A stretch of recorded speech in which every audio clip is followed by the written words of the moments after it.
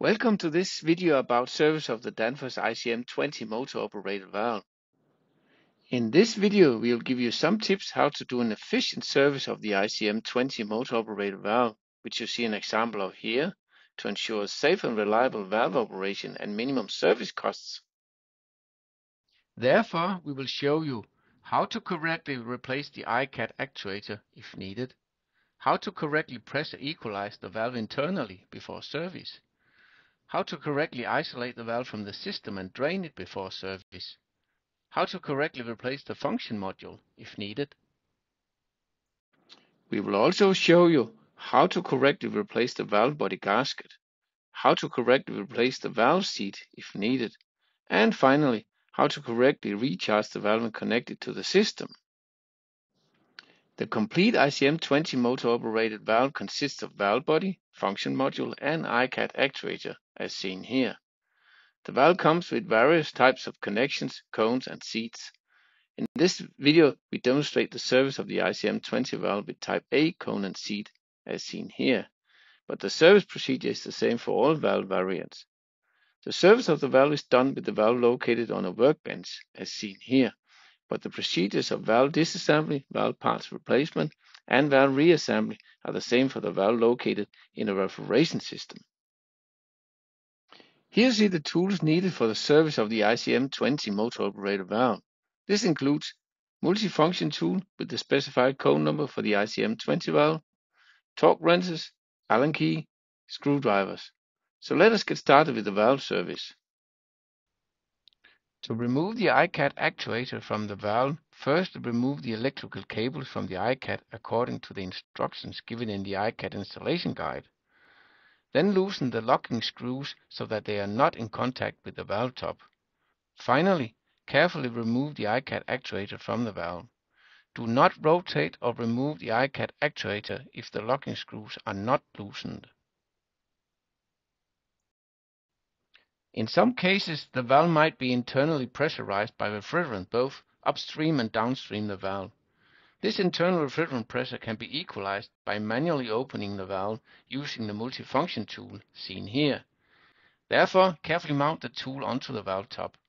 Then carefully rotate the tool clockwise to open the valve. Keep rotating the tool until it clicks over, which means that the valve is fully open. Then remove the tool from the valve top. The valve is now ready to be isolated from the system, drained and depressurized from refrigerant before further service.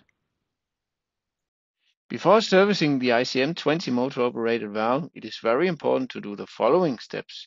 Isolate the valve from the system, drain refrigerant from the valve, check and ensure that there is no refrigerant pressure before disassembly of the valve. To remove the ICM20 top cover with function module, firstly loosen the bolts.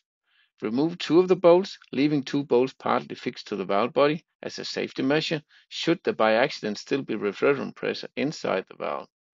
Insert two screwdrivers between top cover and valve body and tilt the screwdrivers to loosen the function module from the valve body.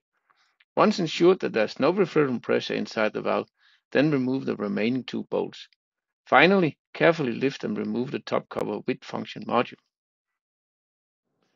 Carefully remove the gasket by hand from the valve body, or if the gasket should stick to the top cover, as seen here, then remove it from the top cover. Do not use a sharp tool to remove the gasket, since this might damage the gasket groove. If replacement of the valve seat is needed, then carefully rotate the valve seat counterclockwise to remove it from the valve body. Then remove the O-ring by hand from the valve seat. Do not use a sharp tool to remove the O-ring, since this might damage the O-ring groove. You can use different available service kits to replace worn valve parts during reassembly of the ICM20 motor operated valve. Here you see the available service kits for the ICM20 valve. These are repair kit, which includes gasket for sealing between valve body and function module, valve seat for valve type A, B, and C, and O-ring for the valve seat. Overall kit, which includes gasket for sealing between valve body and function module, valve seat, O-ring for valve seat, and complete top cover with function module including bolts, O-ring and PTFE ring. And ICAD service kit which includes O-ring, PTFE ring, grease kit, locking screws and an Allen key for the locking screws. Please look for spare parts details for the different ICM20 valve variants in the spare parts catalog, which is available on danfoss.com. So let us start the valve assembly using spare parts from these service kits. Before mounting the O-ring onto the valve seat and mounting the valve seat into the valve body, firstly clean the valve seat and the surface in the valve body where the valve seat is located. Then lubricate the O-ring with refrigerant oil and mount it on the valve seat. Carefully mount the valve seat into the valve body by rotating it clockwise and tightening it with the specified torque.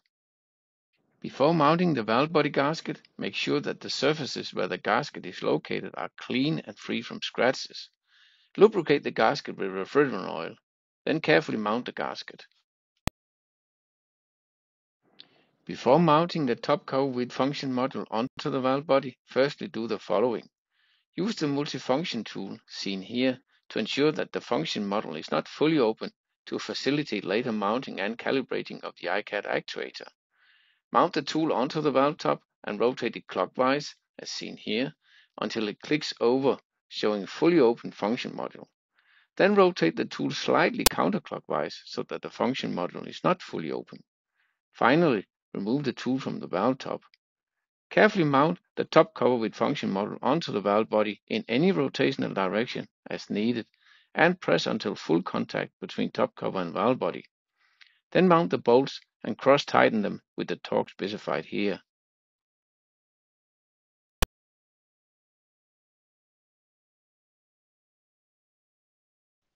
Before mounting the iCAD actuator, firstly do the following. Remove the existing O-ring and PTFE ring from the valve top by hand. Ensure that old grease on the valve top, including in O-ring and PTFE ring grooves, is fully removed before mounting a new O-ring and PTFE ring.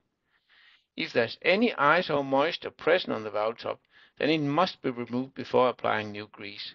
Such ice or moisture can be removed with an electrical hot air gun.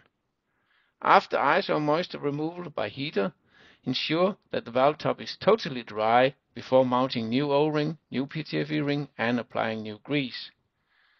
Then carefully mount the new PTFE ring onto the valve top. Apply Molykote 55 grease onto the O-ring and carefully mount the O-ring into the O-ring groove on the valve top. Apply Molykote 55 grease into the valve top groove below the O-ring and ensure that it is distributed all around the valve top. Clean the iCAD inner magnets. Then apply a very thin layer of Molykote 55 grease around and on the iCAD magnets. If there's any ice or moisture present inside the iCAD, then it must be removed before applying new grease and mounting the iCAD. Again, ice or moisture can be removed with an electrical hot air gun. Rotate the locking screws clockwise by approximately 3 rotations and then rotate them counterclockwise to their original positions. Please note that new O-ring PTFE ring and Molykote 55 grease are supplied with the iCAD actuator. Check the iCAD installation guide on danfoss.com.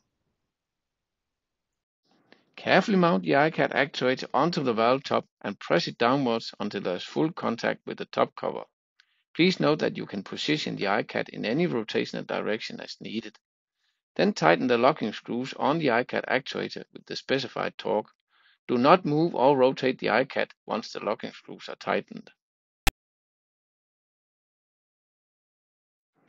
After completing the assembly of the ICM20 motor operated valve, ensure to do the following steps. Connect the valve to the system. Charge refrigerant to system and valve. Check and ensure that the refrigerant pressure is equalized in the valve and system. Finally, connect electrical cables to the ICAD actuator and perform a functional test of the ICM valve and ICAD actuator according to the instructions given in the ICM and ICAD installation guides. You have now completed service of the ICM20 motor operator valve, so now you know how to correctly replace the ICAD actuator if needed, correctly pressure equalize the valve internally before service, correctly isolate the valve from the system and drain it before service, correctly replace the function module if needed, correctly replace the valve body gasket, correctly replace the valve seat if needed, and finally, how to correctly recharge the valve and connect it to the system. All this ensuring a safe and reliable valve operation with minimum service costs. Have a look at the other online learnings about Danfoss valves. Thanks for watching.